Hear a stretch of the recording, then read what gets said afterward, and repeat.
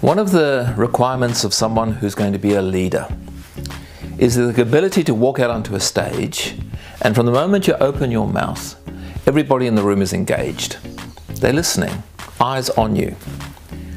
I remember in Dubai two years ago with a major global organization. People from across the planet had arrived at this event, 2,000 people in total. The CEO walked out onto the stage, stood behind a lectern, and within 10 minutes, maybe less, I'm being generous, six minutes, I just watched heads drop. People were looking at devices, they were shutting down. The impact this guy had was negligible. It was a drone.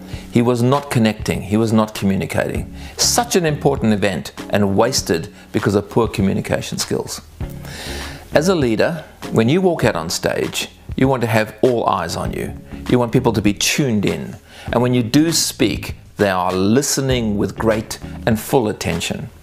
This is methodology. This is a skill.